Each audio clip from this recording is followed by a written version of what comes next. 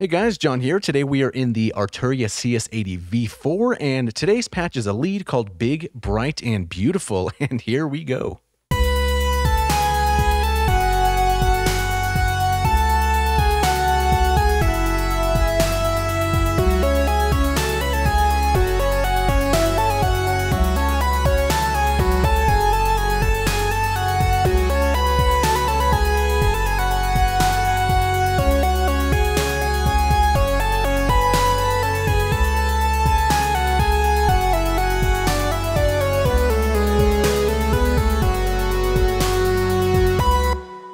Right, so there we go. We're going to recreate this in real time. And now there's something just nice about the Portamento, the glide to this kind of track here.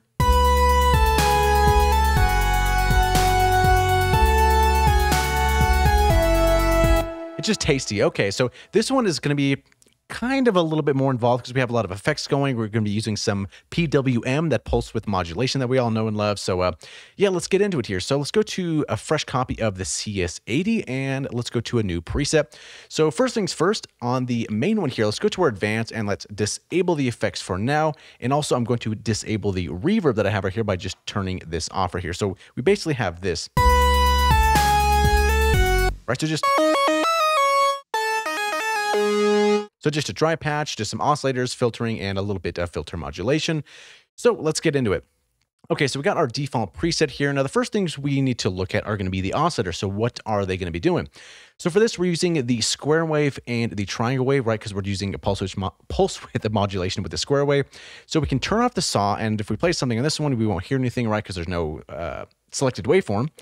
So let's go for the square wave and the triangle together.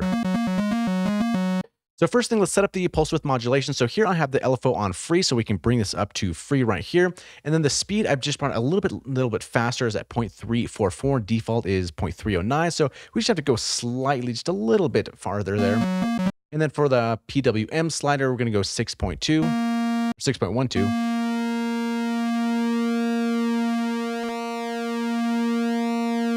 So we're gonna get that pulsing sound.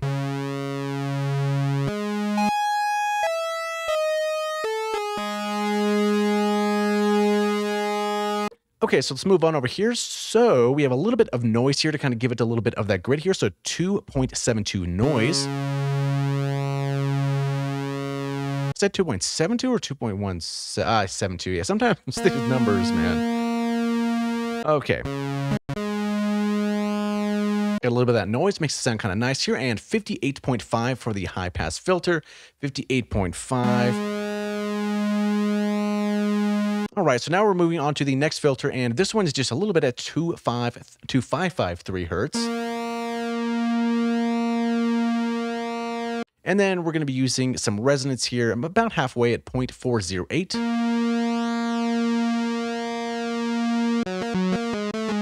And the numbers don't have to be exactly the same, right? They're just pretty much in the ballpark, just kind of the idea of the patch. But if you want to do the same, that's cool too. You can get the same result. Okay, so moving on from here, the attack level is going to be at 420, you know what I'm saying? 420. There we go. And then so for our attack here is going to be 15 and then the decay or decay is 590. So 15 590.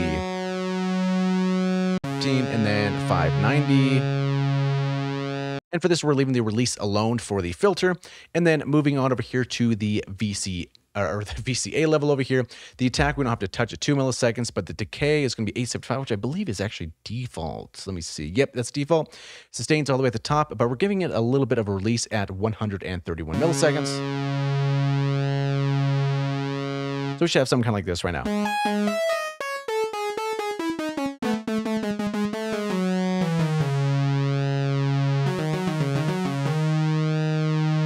Okay, so that's basically all we have to do for the first oscillator. And if you watch the other videos this week, we can just do an easy, quick copy and paste here. So down in the center tone selector, we see these kind of Roman numerals and the one with the arrow pointing downwards. Let's go ahead and select that. So all the work that we did for the first channel, for the first oscillator, is now copied to the second one.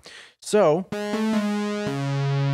we still only hear the first one, and that's because here on our mix, we're just listening to the first one. And over here, we kind of have a blend of the two, right? So we have 0.480. So mm-hmm. something kind of like that.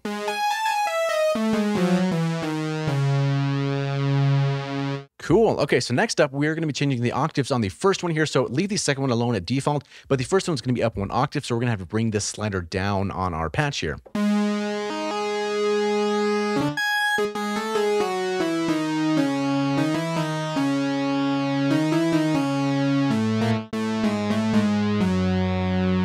Okay, and I wonder if I'd change any of these here. They don't look too different. This is zero, and that is zero as well. I don't think, yeah, so those are unchanged. Okay.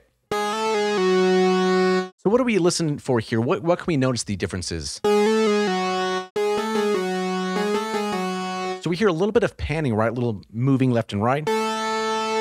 And this one is actually not going to be on the mod wheel. I mean, we can do it if we want to, but this one's kind of going to be set up that way. So remember in the sub oscillator section here, we're going to be using the sine wave and we see our pan is going to move just a little bit downward at 0.3 and our speed is going to be at 344, which I think it might be default, right? Oh no, it wasn't. I actually changed this here. So it's 344 for the speed here. And then what do we say for our pan amount is going to be 0.3. So take a listen how this moves the sound around the stereo field.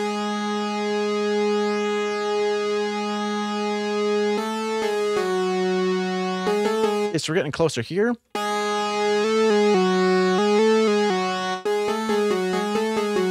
So there's a couple other things here, and maybe I'll give you a second to try to figure out what the difference is here.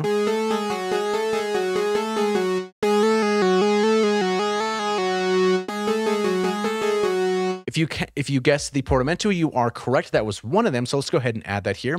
So portamento is going to be 0.011 for this guy. Let's see if we can guess the other one.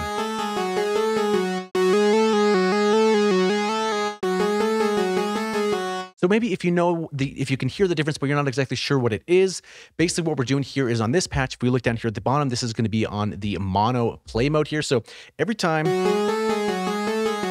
every time I hit a key on this patch that we're making, we're basically firing off these envelopes.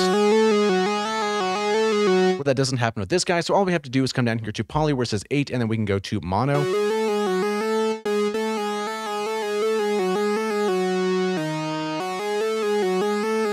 Or even we can go to legato if you want to do something like that. Which I believe is the one I had on this one, if I remember correctly. Yes, mono legato. Because the difference is here, if we hold down a key and press another one, We're not firing our envelopes every single time if we just were to go to, let's say, like eight back to eight, for example. It's very individual notes. So if we change this to the mono legato, makes it sound a little bit smoother, and plus we have the portamento in there, so it makes it sound a little bit, uh, a little bit more leady, I guess, if that's even a word. Okay, so let's kind of compare these now.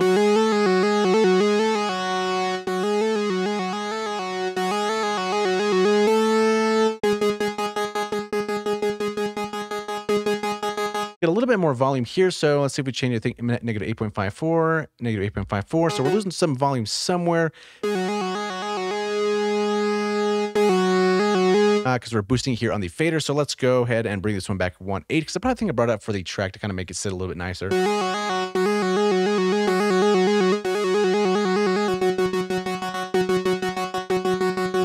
Okay, that's pretty uh, pretty close here. Okay, so now we need to get into some of our effects. So Let's go to the advanced and go to our effects here. So basically what we're doing here is tape, echo, chorus, and then delay. Kind of kind of a standard thing I like doing with this uh, synth here. So let's turn off the delay and then the chorus and then tape echo. So this is dry for, for right now. And then here's a tape echo.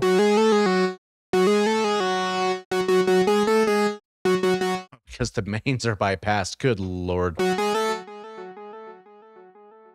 And something you notice on this one, this patch is pretty heavy on delays. So if the delays are getting a little bit in your way, you can always back them down here via these sliders.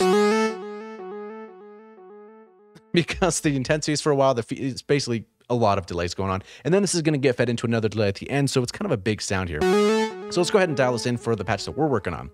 So down here in our effects, we have the tape echo by default, which is kind of nice here. So let's kind of compare these here. So our dry wet is going to be 27.6. So let's bring this up to 27.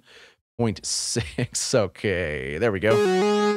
And our time sync is 1 over 4, which I believe that's default. Yes is here.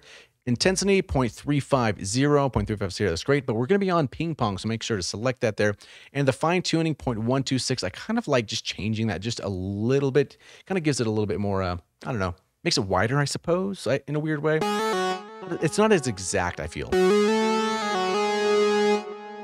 So we're set up here with our tape echo. Next, we're going to go into the chorus. Let's turn this on here. It just thickens things up a little bit. So the chorus for this guy here, and if we move this, let's see if we have changed any of our settings. So rate 0.990, that's the same. Depth 0.202 or 2.20. Delay 5, I believe uh, a lot of this is going to be default. And we kind of just bring this up to 16.4 because out of the box it can be kind of a kind of a lot. So 16.2, something like that. Or, yeah, or 16.4.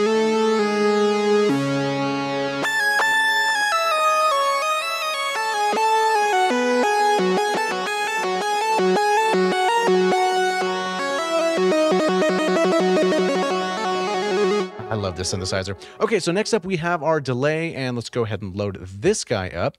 So we have delay, and this one, the timing here is going to be one or one over two, so half bar. So let's go over here to sync this guy and then bring this up to the right, something like that. And then I don't believe we changed too much here. This one is not going to be on ping pong as opposed to the other one. The fine, let's do that a little bit negative something. Just a kind of small little change here. Nothing too crazy. Our feedback's 0.4, 0.4. Let's see what we did to our stereo width. This should be the same. So now our dry wet is going to be 18.8. And yeah, dragging down just a little bit. So do you see what I mean? How much delay is in this patch here? But when you're playing something, you can really play this lead and maybe a bass or some drums beneath that, and it can carry up a lot of space and really fill things up. So you don't need too much in the mix if you're if you're using this type of patch here.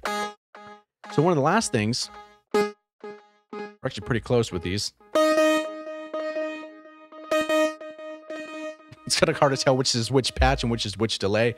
But anyway, so the last thing here is putting our external reverbs. And like I said before in the other video here, I spent a little time with Valhalla Vintage Verb, and I kind of wanted to dial in something that I think might sound a little bit more appropriate to the CS80. So go ahead and screen grab this if you'd like to and kind of dial in those settings for, uh, if you have this synthesizer. One of the main things, I really like dirty plate on synthesizers. It just, there's something really nice about it. And I believe they recommend that as well on their website, if I remember correctly. But anyway, so we have this here and we're going to be routing our new patch to this reverb here. So let's go ahead and click that, and then let's turn on our reverb here. So we have something like this.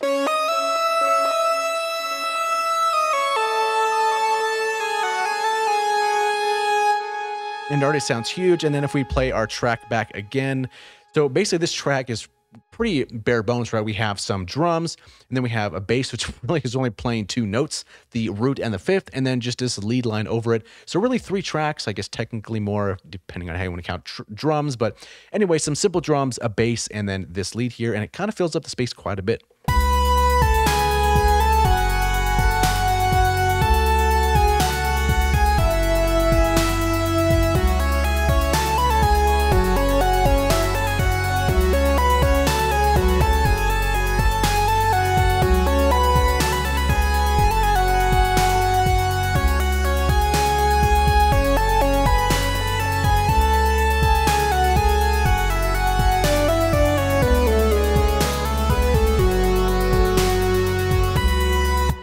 Yeah, so that's how to make that patch the big, bright, beautiful. So if you want to get a copy of that and not have to dial everything in by yourself, there is a free link in the video description below and it can be yours. Thank you so much for watching. Hopefully you learned something and we'll see you in the next video.